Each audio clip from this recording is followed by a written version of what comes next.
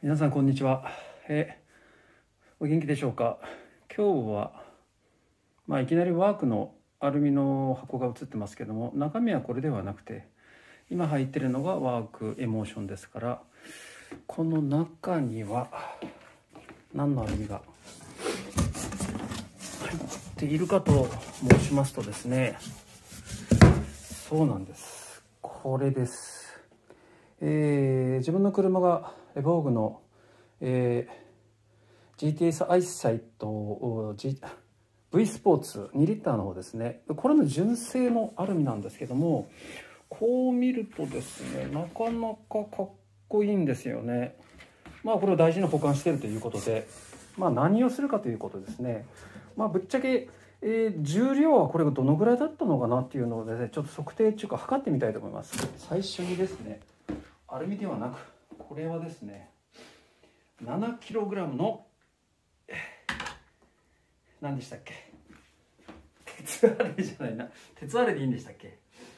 はい。えー、っとこちらがですね7.2ですね。7.2キロ。まあこんなもんでしょうこれ7キロなんですけどね7キロなんですけど7キロなんだけどもね7.2ってありましたね。重量以上なんですね。はい。このね V スポーツ。結構あれですよね。これ円形知る人ぞ知るですね。皆さんあの V スポーツ乗りの方は知ってると思うんですけども、うんと、円形なんですメーカーが。ねほんとブラック塗装でですね結構こうやって見るとなんかかっこいいんですよね。あまあ18の 7.5J、えー、オフセットが55っていうことでまあ今の特化板履いてるワークエモーションと変わらない、えー、リムなんですけどもまああっちの方がオフセットが37だったかな。47か。なんですけどもねこうやって見るとねほんとかっこよくてえーと、中古とかですね中古販売というかですねそういうのを見てもですねこの V スポーツの黒のアルミってあんまり売ってないんですよね。1.6だとかのシルバーにちょっと黒のねあのなんちゅうのかなラインとか入ってるやつだったらあるんですけどもこの V スポーツの2リッターのやつはですねあの本当に中古のとこでサイトとか見てあんまりないんですよ。まあまあそれはいいとして。じゃあぶっちゃけこれはあちなみにえっ、ー、とですねワークエモーションの GR10、えー、私のの今履いてるやつが確か9.5キロ前後。それより以下かもしれないしそれ以上かもしれないんですけども大体その辺9.5前後っていうことですね。ワークエモーションの GR10 の方が、えー、ワンピースの方ですねそれ。そしてこのじゃあはい V スポーツさんですね、えー、アルミは何キロか。はさて。さちょっと見えづらいですけども11.60。11.6キロってことでしょうか？いいのかなこれで？どうでしょうか？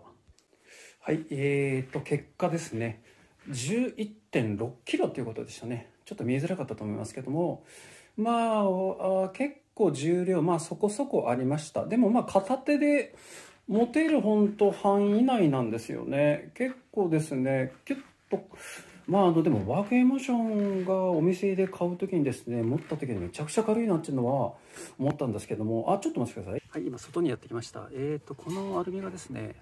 ワークエモーション GR10 が、えー、9.5キロ前後っていうことになります。えっ、ー、とまあ、9.5以下かもしれませんし以上かもしれませんし、